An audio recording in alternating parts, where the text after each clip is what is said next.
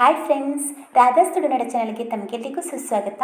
ಇವತ್ತಿನ ವಿಡಿಯೋದಲ್ಲಿ ನಾನು ನಮ್ಮ ಕರಾವಳಿಯಲ್ಲಿ ಸ್ಪೆಷಲ್ ಆಗಿ ಮಾಡುವಂಥ ಹಾಗಲಕಾಯಿ ಸುಕ್ಕ ರೆಸಿಪಿನ ಶೇರ್ ಮಾಡ್ತಾ ಇದ್ದೀನಿ. ಒಬ್ಬೊಬ್ಬರು ಒಂದೊಂದು ಮೆಥಡಲ್ಲಿ ಮಾಡ್ತಾರೆ. ನೀವೇನಾದರೂ ಬೇರೆ ಮೆಥಡಲ್ಲಿ ಮಾಡ್ತಾ ಇರ್ತೀರಿ ಅಂದರೆ ಈ ಮೆಥಡಲ್ಲಿ ಒಂದು ಸಲ ಟ್ರೈ ಮಾಡಿ ನೋಡಿ. ತುಂಬ ಅಂದರೆ ತುಂಬ ಟೇಸ್ಟಿಯಾಗಿರುತ್ತೆ ಹಾಗೆಯೇ ಸ್ವಲ್ಪನೂ ಕಹಿ ಕೂಡ ಇರೋದಿಲ್ಲ.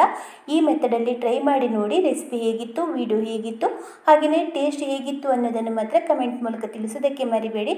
ಹಾಗಾದರೆ ಬನ್ನಿ ಫ್ರೆಂಡ್ಸ್ ಇವಾಗ ಶುರು ಮಾಡ್ಕೊಳ್ಳೋಣ. ನಾನು ಒಂದು ಮುನ್ನೂರೈವತ್ತು ಗ್ರಾಮ್ ಸಾಗುವಷ್ಟು ಇದು ನೋಡಿ, ಮಂಗಳೂರು ಹಾಗಲಕಾಯಿ, ಊರಿನ ಹಾಗಲಕಾಯಿ. ಈ ಹಾಗಲಕಾಯಿ ಸಿಕ್ಕಿದರೆ ಇದು ತುಂಬ ಟೇಸ್ಟಿಯಾಗಿರ್ತದೆ. ಇದನ್ನ ತೊಳ್ಕೊಂಡು ಇದರ ಮೇಲೆ ಸ್ವಲ್ಪನೂ ನೀರಿನ ಅಂಶ ಇರಬಾರ್ದು. ಆ ರೀತಿ ಚೆನ್ನಾಗಿ ಇದನ್ನ ಒರೆಸ್ಬಿಟ್ಟು ನೋಡಿ, ನಾನು ಈ ರೀತಿ ರೌಂಡ್ ರೌಂಡಾಗಿ ಕಟ್ ಮಾಡ್ಕೊಂಡಿದ್ದೀನಿ. ನಿಮಗೆ ಯಾವ ರೀತಿ ಬೇಕಾದ್ರೆ ಇದಕ್ಕಿಂತ ಚಿಕ್ಕದಾಗಿ ಬೇಕು ಅಂದರೆ ಚಿಕ್ಕ ಚಿಕ್ಕ ಪೀಸ್ ಕೂಡ ಮಾಡ್ಕೋಬೋದು. ನಾನು ರೌಂಡಾಗಿ ಕಟ್ ಮಾಡ್ಕೊಳ್ತಾ ಇದ್ದೀನಿ.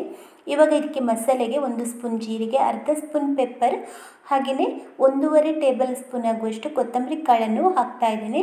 ಇದು ಮೂರನ್ನು, ಬೇರೆ ಜಾಸ್ತಿ ಮಸಾಲೆ ಇಲ್ಲ. ಇದು ಮೂರನ್ನು ಕೂಡ ಡ್ರೈ ರೋಸ್ಟ್ ಮಾಡ್ಕೋಬೇಕು. ನೋಡಿ, ಈ ರೀತಿಯಾಗಿ ಡ್ರೈ ರೋಸ್ಟ್ ಮಾಡಿಕೊಂಡು, ಸಣ್ಣ ಉರಿಯಲ್ಲಿ ಇಟ್ಕೊಂಡು ಡ್ರೈ ರೋಸ್ಟ್ ಮಾಡಿಕೊಂಡು ತಣ್ಣಗಾಗಲಿಕ್ಕೆ ಬಿಡ್ತಾ ಇದ್ದೀನಿ. ಇವಾಗ ಏಳು ಗುಂಟೂರು ಚಿಲ್ಲಿ ಹಾಗೆಯೇ ಎರಡು ಬ್ಯಾಡಗಿ ಚಿಲ್ಲಿ ಹಾಕ್ಕೊಂಡು ಇದನ್ನ ಕೂಡ ಡ್ರೈ ರೋಸ್ಟ್ ಮಾಡ್ಕೊಳ್ತಾ ಇದ್ದೀನಿ.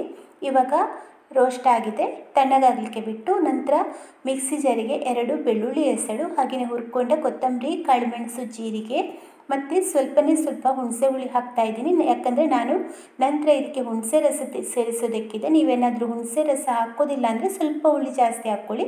ಇವಾಗ ರುಬ್ಕೊಂಡ ಮೆಣಸು ಕೂಡ ಹಾಕ್ಕೊಂಡು ಸ್ವಲ್ಪ ನೀರನ್ನು ಹಾಕ್ಕೊಂಡು ಇದನ್ನ ನುಣ್ಣಗೆ ರುಬ್ಕೋಬೇಕು. ತೀರಾ ತೆಳ್ಳಗೆ ಮಾಡ್ಕೋಬೇಡಿ. ದಪ್ಪಗೆ ಇರಲಿ. ಇವಾಗ ನಾನಿಲ್ಲಿ ಒಂದು ಪಾತ್ರೆ ಬಿಸಿಯಾಗಲಿಕ್ಕೆ ಇಟ್ಟು ಇದಕ್ಕೆ ನಾಲ್ಕು ಸ್ಪೂನ್ ಆಗುವಷ್ಟು ಕೊಬ್ಬರಿ ಎಣ್ಣೆ ಹಾಕ್ಕೊಳ್ತಾ ಇದ್ದೀನಿ. ಹಾಗೆಯೇ ಒಂದು ಚಮಚ ಸಾಸಿವೆ, ಸ್ವಲ್ಪ ಕರಿಬೇವಿನ ಎಲೆ, ದಂಟು ಸಮೇತ ಹಾಕ್ಕೊಂಡಿದ್ದೀನಿ. ಇಲ್ಲಿ ಕೊಬ್ಬರಿ ಎಣ್ಣೆ ಹಾಕಿ ಹಾಗಲಕಾಯಿ ರೆಸಿಪಿ ಮಾಡಿದ್ರೆ ಅದರ ಒಂದು ಟೇಸ್ಟ್ ಬೇರೆಯೇ ಅಷ್ಟೊಂದು ರುಚಿಯಾಗಿ ಇರ್ತದೆ. ಸ್ವಲ್ಪ ಹಸಿಮೆಣಸನ್ನು ಕಟ್ ಮಾಡಿಕೊಂಡು ಹಾಕ್ತಾ ಇದ್ದೀನಿ. ಎರಡು ಮೀಡಿಯಮ್ ಸೈಜ್ ಈರುಳ್ಳಿ ಕೂಡ ಕಟ್ ಮಾಡಿಕೊಂಡು ಹಾಕಿದ್ದೀನಿ.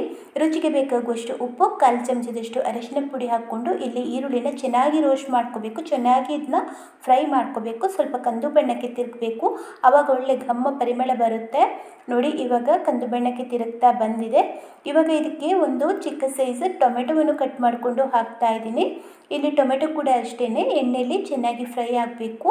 ಅಂದರೆ ಚೆನ್ನಾಗಿ ಮೆತ್ತಗಾಗಬೇಕು. ಉಪ್ಪು ಕೂಡ ಹಾಕಿರೋದ್ರಿಂದ ಈರುಳ್ಳಿ ಮತ್ತು ಟೊಮೆಟೊ ಬೇಗನೆ ಮೆತ್ತಗಾಗುತ್ತೆ.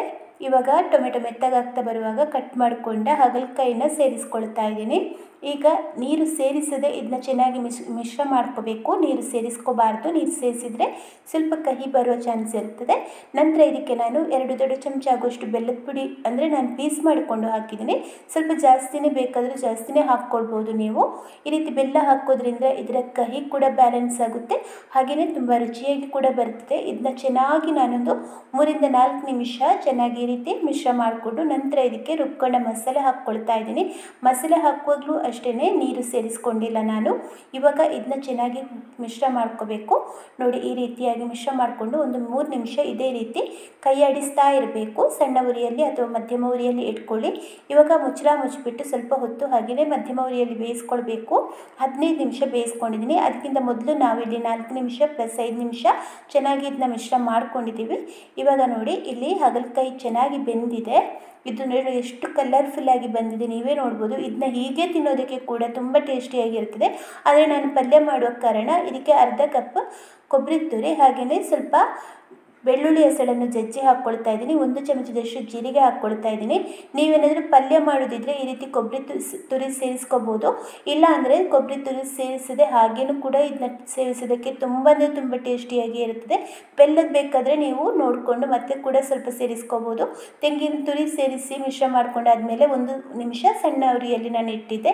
ಇವಾಗ ಅರ್ಧ ನಿಂಬೆ ರಸ ಹಾಕ್ಕೊಂಡು ಸ್ಟವ್ ಆಫ್ ಮಾಡ್ಕೊಳ್ತಾ ಇದ್ದೀನಿ. ನಿಂಬೆ ರಸ ಸೇರಿಸಿದ ಮೇಲೆ ಮತ್ತೆ ಇದನ್ನ ಬಿಸಿ ಮಾಡುವ ಅಗತ್ಯ ಎಲ್ಲ ಚೆನ್ನಾಗಿ ಮಿಶ್ರ ಮಾಡಿಕೊಂಡು ಅನ್ನ ಗಂಜಿ ಅಥವಾ ಯಾವುದೇ ಒಂದು ಬ್ರೇಕ್ಫಾಸ್ಟ್ ಅಂದರೆ ದೋಸೆ ಚಪಾತಿ ರೊಟ್ಟಿ ಜೊತೆ ಕಾಂಬಿನೇಷನ್ ಆಗಿ ತಗೊಳ್ಬೋದು. ತುಂಬ ಅಂದರೆ ತುಂಬ ರುಚಿಕರವಾಗಿರ್ತದೆ. ಹಾಗೆಯೇ ಹಾಗಲಕಾಯಿ ತುಂಬ ಹೆಲ್ತಿ ಕೂಡ.